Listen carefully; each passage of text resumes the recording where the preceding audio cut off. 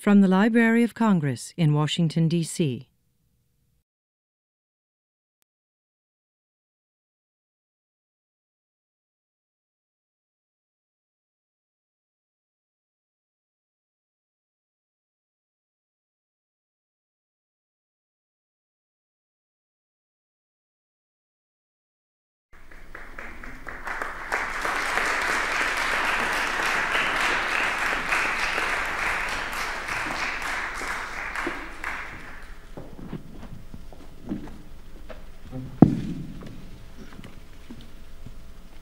Good afternoon. My name is Georgia Luikens, and I am sitting with Joel Spiegelman and Marty Boykan.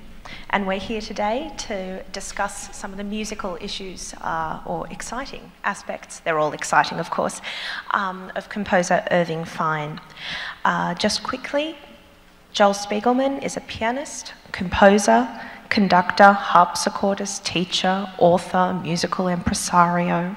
Uh, he studied at Yale, University of Buffalo, Brandeis University, at the Paris Conservatoire with Nadia Boulanger. He was part of the Boulangerie.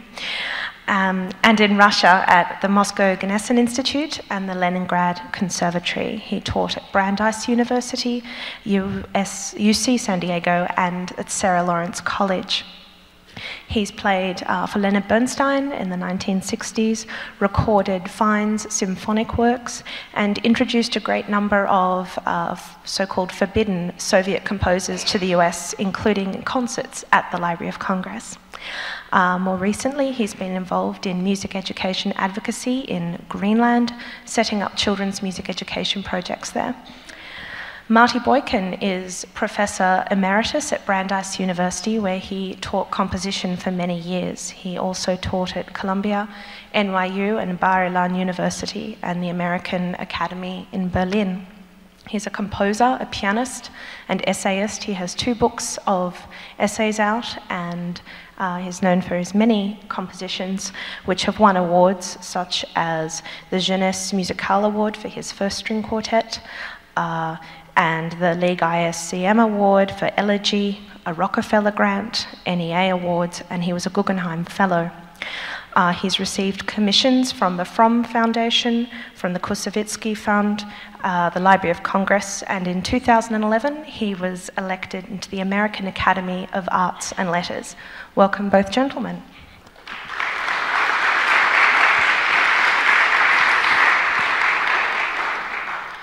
So we've learnt and listened a lot about neoclassicism. When we think about Irving Fine, we think about this, this period and school of composition.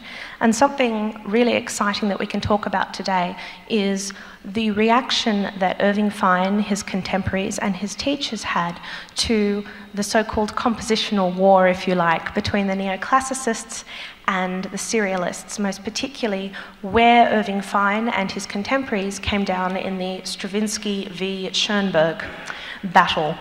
Um, we need to know that Irving Fine studied with Nadia Boulanger, uh, as did uh, Joel Spiegelman, and Irving Fine also studied with Piston, Walter Piston, as did Marty Boykan. And I'm curious um, if perhaps we can talk for a moment about where Irving Fine existed on this trajectory between neoclassicism and uh, serialism. We know that Boulanger certainly didn't particularly advocate for serialist technique. She did own um, a, a theory and harmony book written by Schoenberg, which Copland gave her in 1923. Uh, but she was not particularly in favour of serialist techniques beyond accepting them as part of the, the musical environment of her time. I'm wondering, Marty, if you could start us off. Um, how do you see Piston and Boulanger influencing the works of Irving Fine? Um, well, uh, that's a very hard question, and also hard because um, Walter Piston was himself a student of Boulanger. Yes. So that um, uh, I have no personal, no, I, I met Boulanger a couple of times, but I, I have no personal uh, notion of how she taught. But I do remember something that Walter Piston said about her, which is that um, she was an extraordinary teacher because she had a, an immediate feeling for the kind of statement the composer wanted to make. So it wasn't just what you should be doing, but what the individual creator was trying to do. Um, as far as what she learned, what, what Irving learned from, um, from uh, Walter Piston, I have to say, now bear with me, that I am quite sure, uh, because I studied with, with Piston for quite a few years, but many years after Irving, but unless a Piston had significantly changed in those years, I'm sure that Irving learned nothing from Piston. I, this is not a joke. It was a serious matter. He really knew that. He taught nothing. Uh, he simply called himself a spectator. And I remember one time when uh, uh, he looked at a piece of mine and corrected a few mistakes in the accidentals. And then I asked him, was uh, a certain part of the piece too, too long? He said, yes. And I was very angry. He was right, because this was a finished piece and I had worked on it with him, and he never told me it's too long. If I didn't, if I didn't know it, nothing, nothing happened. But I want to say, when I've said that, that he is one of the great American composers, and a very important composer. And at the time when uh, I was learning nothing from him in the classroom, I was learning a great deal from him uh, in studying his music. So I didn't want to say that. Um, the, the American composer uh, who, from whom Irving would have learned anything was, of course, Aaron Copland. Mm. Um, and the composer who was prime in his life was, of course, Igor Stravinsky. And I'll stop there. Okay, perhaps Joel, because you were part of the uh, boulangerie, so to speak, but later than Copland and Virgil Thomson and Irving Fine, perhaps you'd like to tell us how Irving Fine's music fits in with the overall context of Boulanger's students. You know, I tend to agree, concur with Marty when he said Irving probably learned nothing from Walter Piston in a sense, uh, in, in one sense. I, uh, having spent four years with Boulanger, and basically uh, was inspired to go there and, and, work with her because of Irving and uh, his colleagues who are my teachers at uh, Brandeis, Harold Shapiro and, and um, Arthur Berger, all of whom I, I, believe had worked with her, at least Harold had, for a period of time.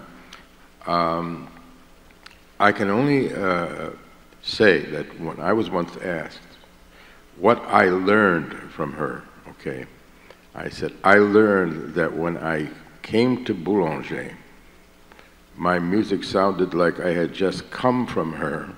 And when I left Boulanger after four years, my music sounded like I had never heard of her. Uh, now, what, what does that mean? And I, that meant that and they asked me. I, basically, a sense of uh, heightened conscience uh, of hearing in the ear. And I think that what Irving may have absorbed from both Piston and Boulanger was, and what's exhibited in his music, is integrity. There's an extraordinary uh, integrity in terms of the craftsmanship in his music. Uh, as I recall, and uh, my lessons with Boulanger, she never told me how to write, what to write. She would comment very little. Uh, and uh, she might say, well, you should forget this work, go on to another one, but nothing too much more than that. She would never get into the act of uh, composing. What she had us do, and I'm sure Irving went through this also, Basically, we're going back to basics, very basics, uh, theoretical uh, exercises, but um, the actual work on a composition, uh, uh, whether it be mine or anyone else's, and I'm sure Irving's also, she never really got, got into. I think he came away with the, uh, this spirit of integrity. Also, he came away with the spirit of France which shows up in his music from time to time. How would you characterize this French aesthetic? a certain lightness and a certain, you know, humor, okay, and a, that uh, I can't say it's the humor, let's say, that we have, or the American in Paris type, but no, that basically I smell Paris in, in, in, in works like Diversion, uh, things of that sort. That, uh, um, and there's a, a, you know, when, when, I, when I look at uh, this next to other com French composers, like Jean Françaix, Francis Poulenc. Uh, not that he uh, is similar, but they are also neoclassics. Mm. I hate to use that word, neoclassic or or whatever, and because I don't think we should really uh, uh, divide music into those categories. But um, there is a certain sharing to a certain degree of, of spirit in the music. Okay, thank you. Marty, when we think about how Fine's music evolved, when we look at a score, when we look at a score such as the Fantasia or the String Quartet, do we get a sense of how this relates to the tension I spoke of a little earlier uh, that was existing at this point in uh, musical composition between Stravinsky and Schoenberg, considering that Stravinsky accused Schoenberg of destroying all that was, I think the quote is, beautiful, clear, and sound in music, and Schoenberg thought he was an unregenerate who wouldn't fight for new uh, musical style or technique. Do we get a sense looking at some of Fine's works where he came down? Obviously, there's not a tone row in uh, the two works I mentioned, to the best of my knowledge. Maybe I need to revisit my harmony exercises. But where did Fine or Fine's music as a composer, when you look at a score, uh, embrace or in somehow relate to the works of Stravinsky? Uh, um, tell me, tell me again what you just said. I, How do? Yes, I'm sorry. There was a long lead up. How do the works of Irving Fine yep. relate to the so-called Stravinsky aesthetic? Oh, well, very closely.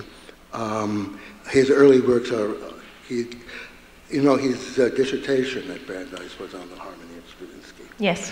And that is something that he really, he didn't write because he had to write a dissertation and find a subject, but it's something he was really involved in. And there's no question that the basic um, uh, the place he began from as a composer was, was Stravinsky.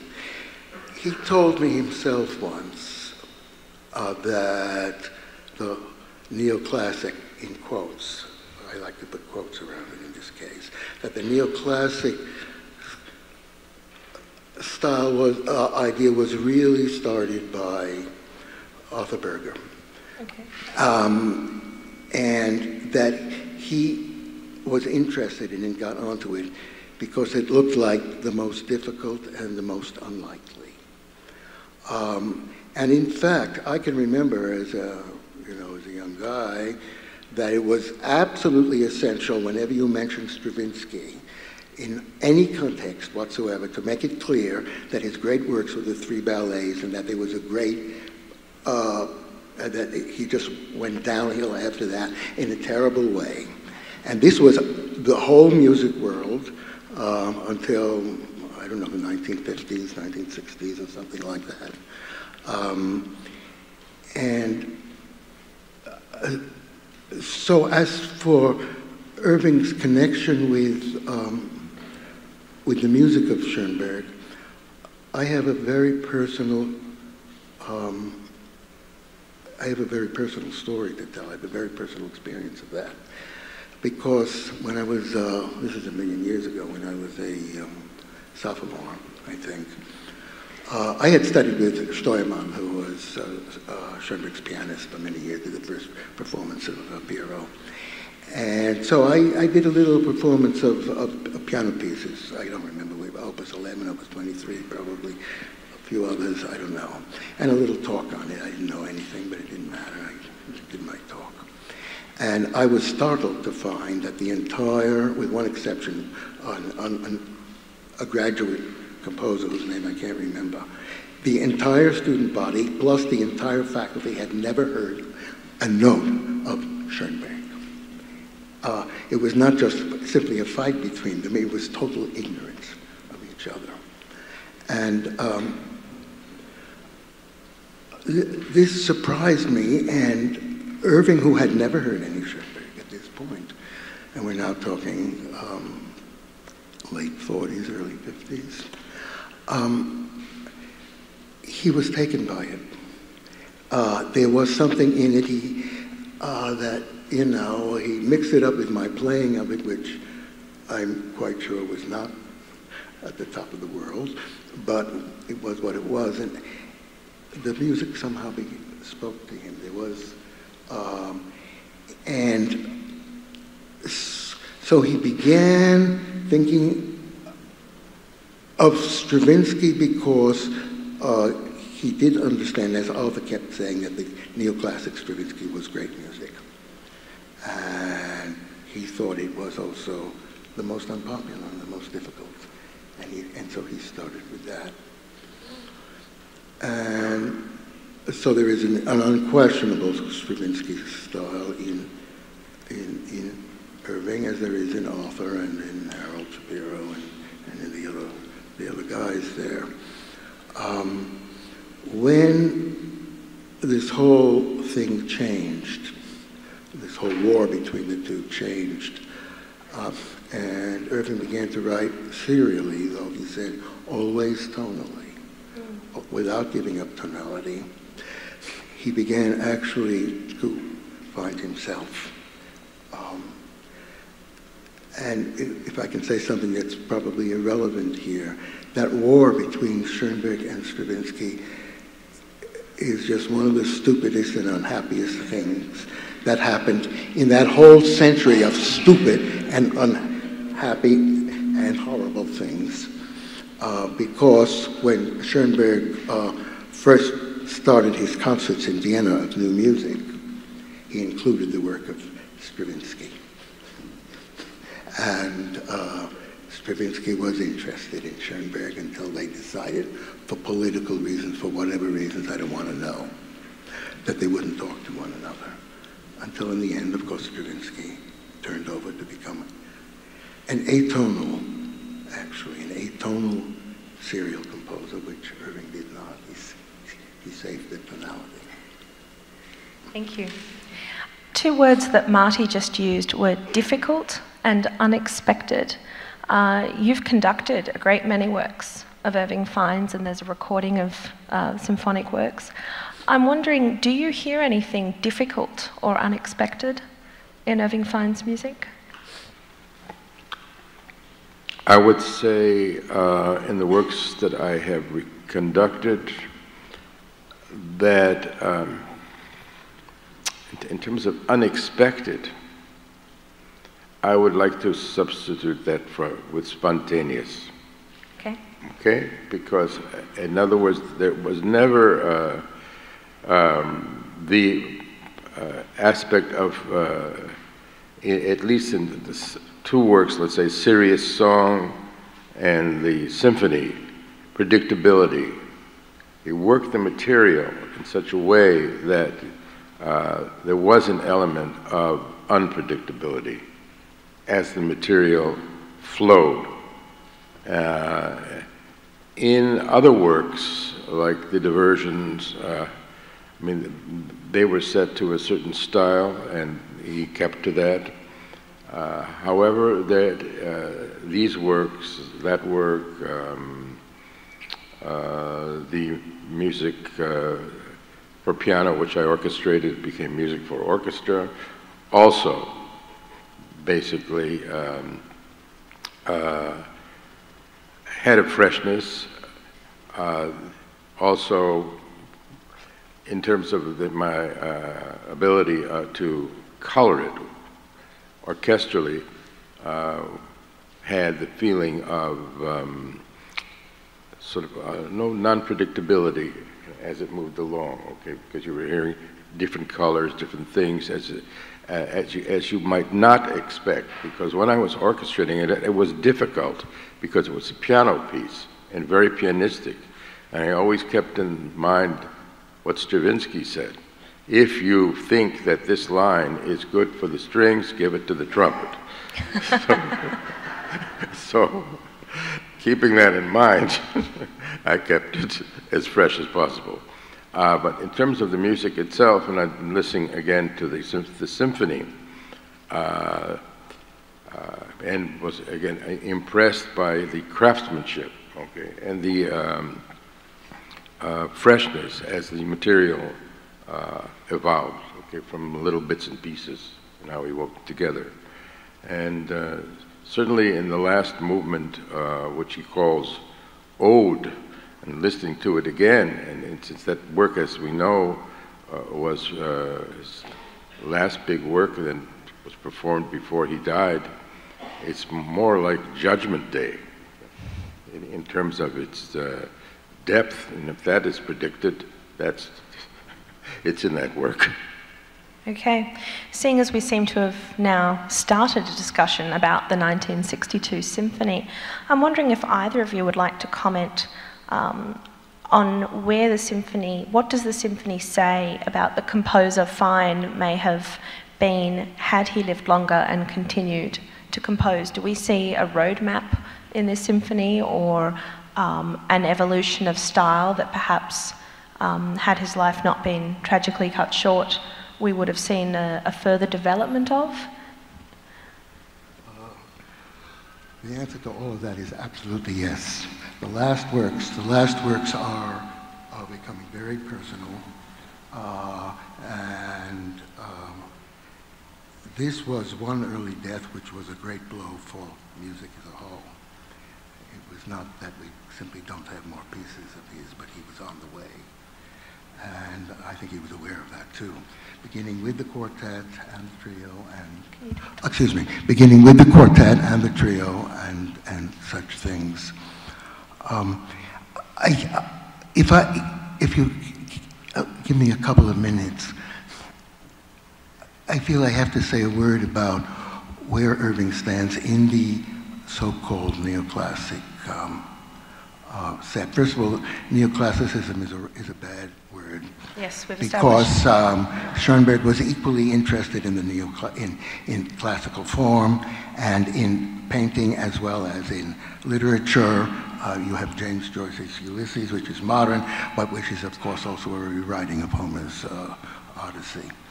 Um, and uh, what distinguishes, well, let, let me put it this way. Here, here are the, the three main um, neoclassic composers in America. Uh, if you start with um, Harold Shapiro, Harold was very concerned actually with basing it on a particular composer's work. And in his case, it came to be Beethoven. So he was essentially trying to rewrite Beethoven in somewhat modern terms. Um, he actually even wrote uh, an article for a journal I can't remember now, a long time ago, saying that what music must do from now on is simply to copy what some particular composer did in the past. Um, what you have with Arthur Berger is a strong sense of the harmony, just pitches, um, very little interest in his own words in in phrasing, in, in the shape of a piece, and so forth. And what you have from Irving is um, a sort of innate connection with Stravinsky first and Copland second, uh, but simply writing without these uh, abstract theoretical notions of what neo, what classicism means. Uh, simply writing a piece which is tonal because that's the way he's thinking. So that it was very natural for him later on to turn that tonality into, into something uh, which is a little different, which is, uh, uh has many more possibilities, perhaps, is, is, is, what he was thinking. But most of all, which represented his own personal uh, sense of what he wanted a piece of music to be. Okay, and perhaps one final question as we're running a little short on time.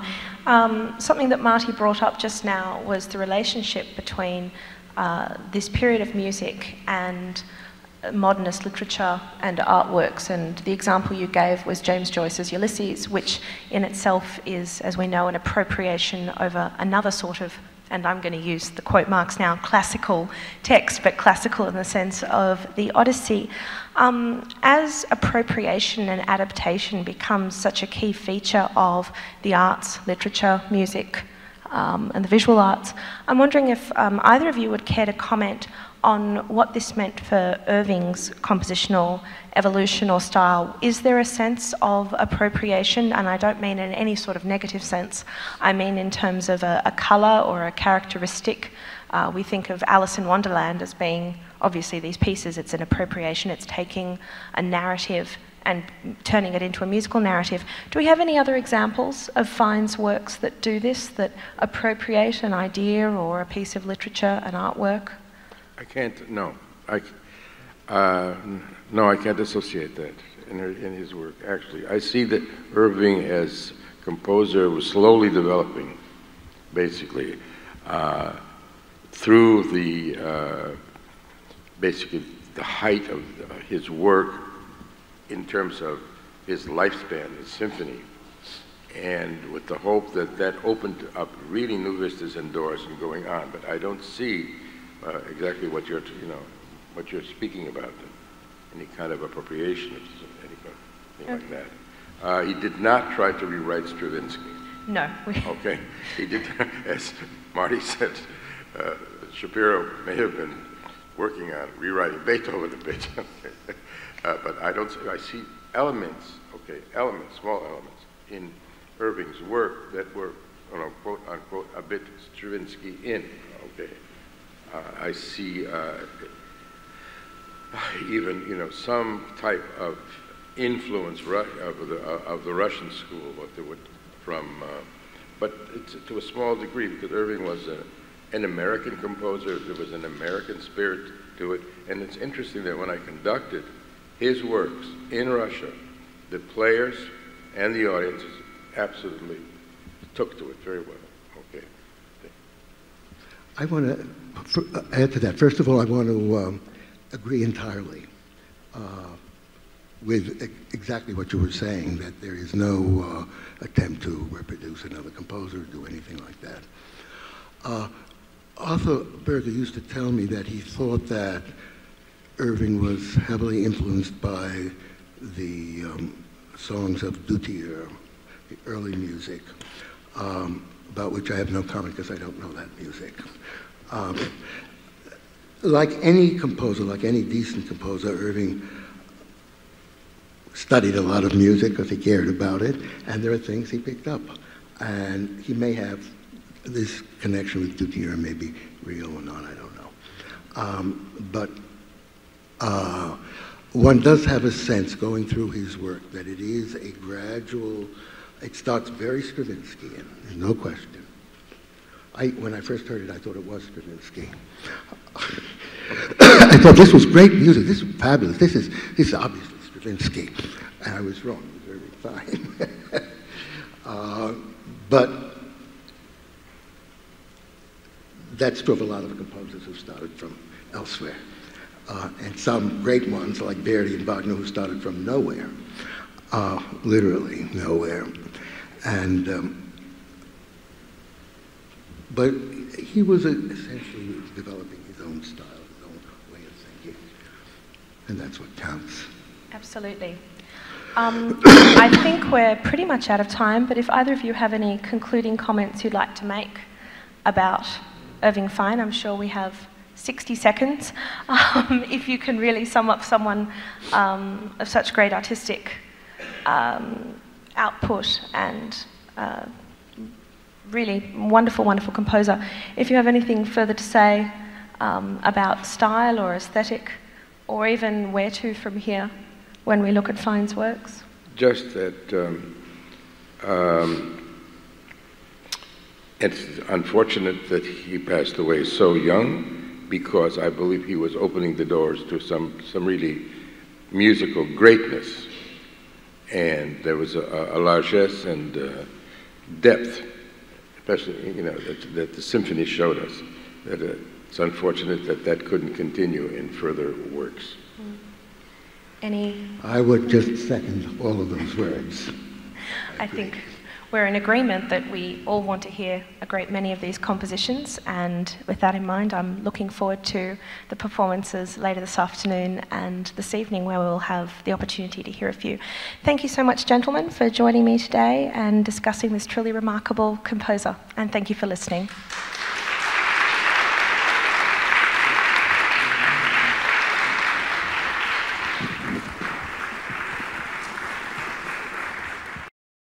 This has been a presentation of the Library of Congress. Visit us at loc.gov.